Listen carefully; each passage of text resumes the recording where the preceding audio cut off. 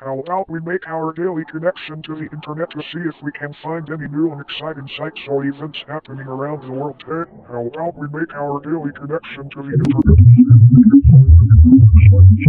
Events happening around the world today. How about we make our daily connection to the internet to see if we can find any new and exciting sites or events happening around the world today? How about we make our daily connection to the internet to see if